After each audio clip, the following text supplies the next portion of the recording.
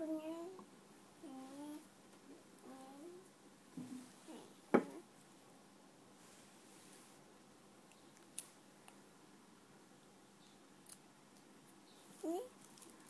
คัดแบบ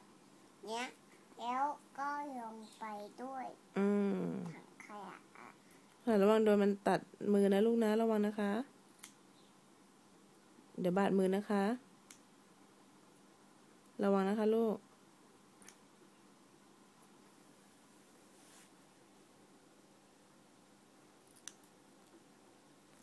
คุณแม่ตัดให้ดูสิ